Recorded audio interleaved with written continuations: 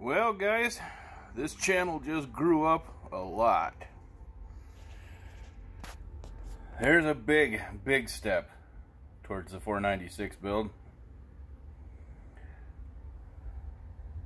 I'm sure you already read by the title, or saw the title, read it, know what it means. Yep, finally got me a set. As it turns out, it was the last set that Jegs had. And surprisingly, unlike Weingartner's, mine didn't get trashed through FedEx. You could tell they dropped the box several times, but luckily it didn't hurt anything. I'll move them all around for you, but I'm just trying to show you the, the pretty machining. So now, according to the guy at Promaxx, when I called, I said, who makes your stuff? He said, the springs are made by PAC, the valve seals are Viton, so I don't know who makes them, but they're Viton seal, Viton, Vitoon, however you want to pronounce it. I've never heard of Vitoon, that's pretty stupid, sorry. Um, just a Viton seal. But supposedly the valves are Ferreras. They're made in Argentina, right next to um, AR or uh, AFRs or or Ferrera. So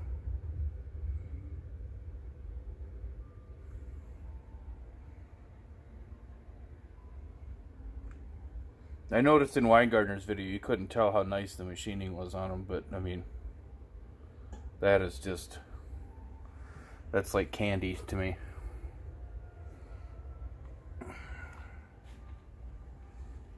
So these are a 317 or 315 as cast. Um, essentially, if if Eric is right, I, I would imagine he is. He seems to be a pretty intelligent guy, and he's been doing the head game here for a while. These are apparently a 315 AFR clone, meaning they basically bought an AFR 315 head, sent it to China, and said, "Here, make this." So they did, and this is what they came up with.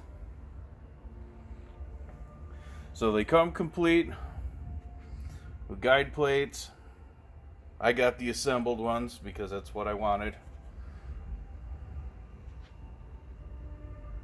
Look at the ports, man. They're just massive.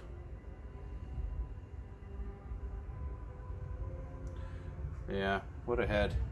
Well, I was flip-flopping back and forth between the 290 and the 317.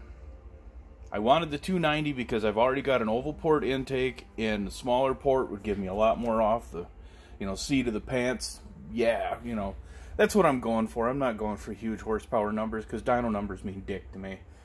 I'm going for that seat of the pants, you know, when you stomp on the throttle and it pins you in the seat and you look over at the passenger and their, you know, their eyes are watering and they're scared. That's the shit I get off on.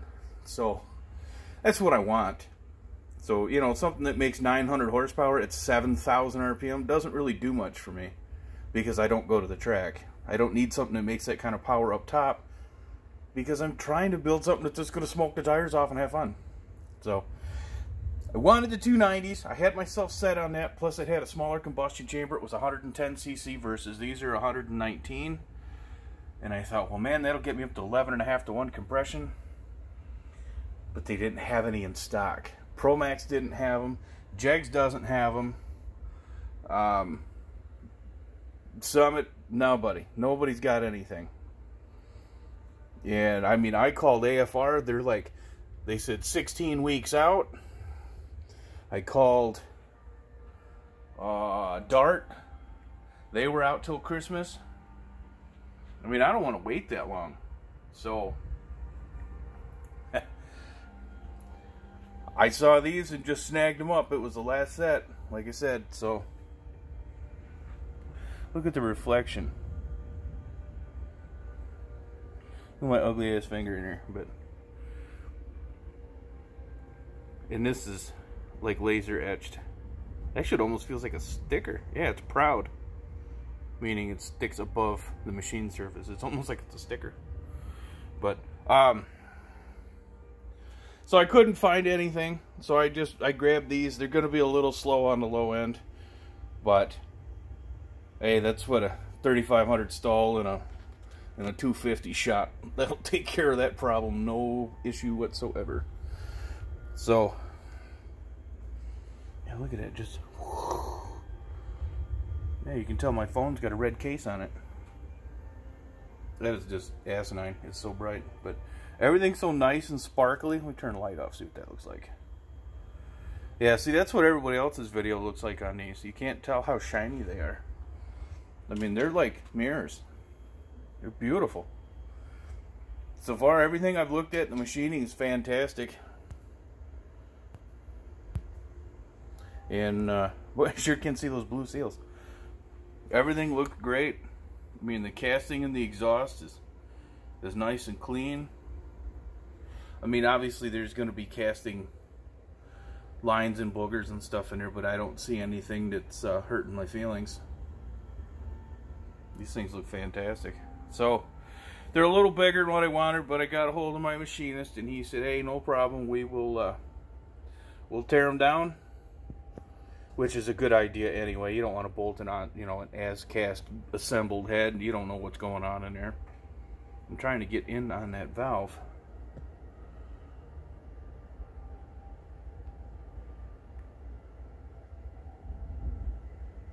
Hmm, oh well, I thought I saw something in here. It looks like a piece of grain, a grain of dirt or something. But we're gonna tear them down and uh, mill them out, or mill the heads, get them down to about 112, 110 cc, and that'll get my compression up to 11 and a half where I want it to be. So, and technically it isn't a 496; it'll be a 489 build, but you know, whatever.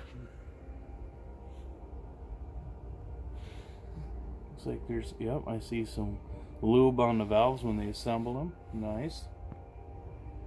Yeah, look at the size of those friggin' ports, man. Put my ugly ass fingers in there. Those things are huge. So I can find something to compare it to. There. That's a full-size big lighter. So those those ports are massive. Should flow. Should be awesome here. Let me just stick that, that lighter right inside there. I'll just store that in there. So, I don't know. Should be awesome. So, as I keep saying in these videos, man, it's one step closer, but this one was a real hard purchase, man. What was it? 2187 I paid with tax and shipping. Ouch. so, well, tell me what you guys think in the comments down below. Do you think I wasted my money on Chinese offshore cast heads? Or, I mean, supposedly the guys do all their own machining here in the U.S., you know, and they use competent tools with competent people and use proper, you know, uh, hardware in the heads. So, they're cast offshore. You know, they're cast in China. They bring them over. They do their own five angle valve jobs on them, and you know, use decent stuff and put them together. Now, I don't see on the studs where it says anything. I don't see where it says ARP or anything like that. So I got it focus there for a second.